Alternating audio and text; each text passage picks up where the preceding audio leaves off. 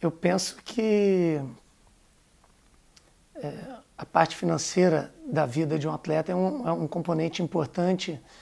que muitas das vezes, quando o atleta está na sua plenitude da sua carreira, ele não tem tempo para ter foco nisso. Então eu penso que é um, é um ponto extremamente importante de futuro para o atleta, é um ponto importante de planejamento para a sua vida é, pós-carreira e vejo como um dos pontos fundamentais para que o atleta possa ter tranquilidade e tenha seu foco todo voltado para a sua atividade principal, que é jogar futebol.